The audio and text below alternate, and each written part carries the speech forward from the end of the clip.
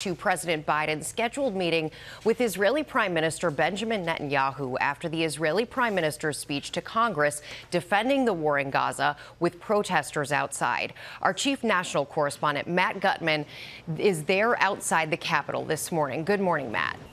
Hey, good morning, Rebecca. Ahead of this address, there was some anticipation that Netanyahu might announce some progress on that stalled ceasefire and hostage release deal. But that's not what we heard from the Israeli prime minister. Instead, there was this full throated defense of Israel's conduct in the Gaza Strip. And amidst this historic address, there's also massive security with thousands of protesters outside demanding his arrest for war crimes. Outside the Capitol, thousands protesting Netanyahu's visit, clashing with police facing volleys of pepper spray. Eventually, the march stalling at Union Station, where protesters took down American flags and raised Palestinian ones. The flag there on the ground was on the flagpole here at Union Station a few moments ago, but protesters here lit it on fire, as well as that effigy of Benjamin Netanyahu. But inside the Capitol, the Israeli prime minister greeted with a roaring, mostly Republican ovation.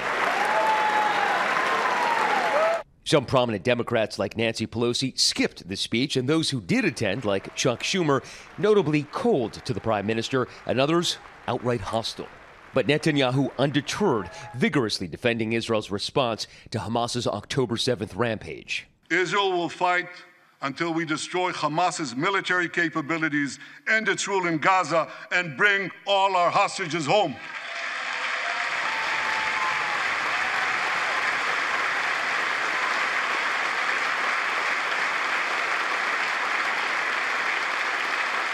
That's what total victory means, and we will settle for nothing less. Netanyahu never mentioned the word ceasefire despite 39,000 Palestinians killed, according to the Hamas run health ministry, and hundreds of thousands starving.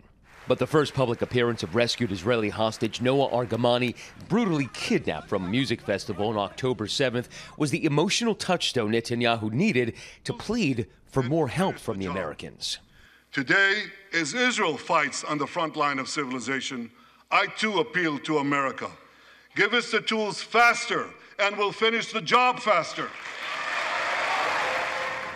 Later today, Netanyahu will meet with Vice President Harris. He'll also meet with President Biden. From both of them, he is likely going to be urged to make more progress on that ceasefire deal and hostage release, which has essentially been stalled for a couple of months now.